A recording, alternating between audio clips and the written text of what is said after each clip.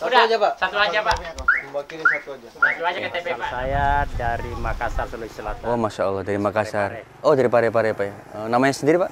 Nama saya Pak Harwi. Oh. Bapak Pak Harwi. Oh. Pak Erwin. Oh, Ya, panggilnya Pak Erwin ya. Oh, sudah berapa lama Pak di Merauke? Ini sudah kurang lebih jalan enam bulan. Masya Allah. Enam bulan Pak ya. Masya Allah. Eh, ini biasanya rolling Pak ya. Rolling. Rolling. Rolling, ganti-gantian. Hmm, itu setiap berapa berapa lama sekali? Setiap sembilan bulan sekali. Oh, setiap bulan 9 bulan. Berarti Bapak nanti 9 bulan di sini kemudian dipindah tugaskan ke tempat lain. Kembali ke kesatuan lagi. Eh, ke Makassar lagi. Jawa Timur. Hmm. Kalau di tentara sendiri sudah berapa lama? Pak? Sudah 26 tahun. Oh, Masya Allah.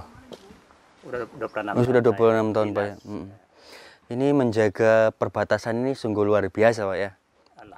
Bapak tahu nggak kira-kira kalau kira-kira eh, menjaga perbatasan ini pahala yang didapatkan itu apa kira-kira? Oh, Bapak tahu kira-kira? pahalanya insya Allah ya kita Hmm. kalau niatnya yang tulus ikhlas ya kita eh, untuk tugas negara ya insya Allah ya dibalas tergantung niatnya juga Iya kita. betul betul Pak. Iya, ter- semua malah tergantung niatnya Pak ya. dibalas oleh Allah untuk niatnya kita niat baik insya Allah dibalas kebaikan Iya. Kalau hadisnya tahu Pak? Hadisnya. Ya, ya. hadisnya maksudnya. Iya, nah.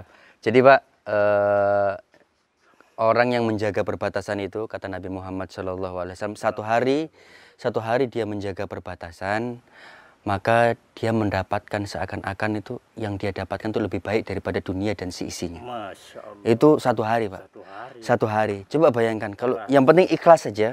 Ya, itu satu harinya itu lebih baik daripada dunia dan seisinya. Ya, dunia ini isinya ada perhiasan, ada apa, itu lebih baik dari itu semua. Kendaraan yang mewah, rumah yang luas. Kemudian juga Pak, eh, orang yang menjaga perbatasan itu kelak eh, rata-rata mayit, kita tahu mayit Pak ya. Namanya orang sudah mati itu kan semuanya amalan ditutup ya Pak. Betul. Ya, ditutup. Ditutup kecuali orang yang menjaga perbatasan. Orang yang menjaga perbatasan itu amalannya itu terus mengalir, Pak. Terus mengalir tidak ditutup oleh Allah Subhanahu wa taala. Bahkan dia diselamatkan dari penguji di alam kubur. Amin. Diselamatkan dari apa, malaikat mungkar ma- nakir ya dari penguji di dalam kubur. Luar biasa. Itu Pak hadisnya. Jadi benar-benar Pak kita menjaga perbatasan itu niat karena Allah Subhanahu wa taala. Karena satu hari kita itu diganjar oleh Allah Subhanahu wa taala lebih baik daripada dunia dan seisinya. Dan insya Allah kalau kita tetap ikhlas, tetap istiqomah, insya Allah pahala itu akan terus mengalir.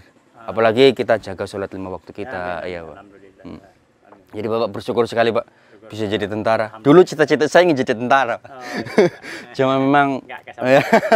belum memberikan Iya, lain. ah, ah, tapi alhamdulillah, iya alhamdulillah. Tapi ya sama-sama untuk dakwah, bapak juga untuk dakwah diniatkan untuk dakwah, ya, dapat pahala pahala jihad juga pak. Bapak ya kita jihad dengan ilmu, bapak jihad dengan tenaga, menjaga kesatuan NKRI. Ya jangan sampai lepas. Amin. Tapi eh, selama di tentara sendiri pernah nggak pak ada rasa pingin keluar atau apa enggak ya? Karena mungkin ditugaskan di ujung, saya kok ditugaskan di ujung, saya pengen keluar gitu, pengen ini. Enggak pak ya? Soalnya sudah benar-benar khidmat untuk negara dengan Allah ya. Ya, Iya, alhamdulillah pak. Allah juga memberikan kita rezeki kita di sini. Ah, ah. Kan dari Allah semua juga tuh. Iya benar pak. Mm. Apalagi sudah tahu hadisnya pak ya, tambah semangat. Iya. Sudah tambah semangat. Masya Allah.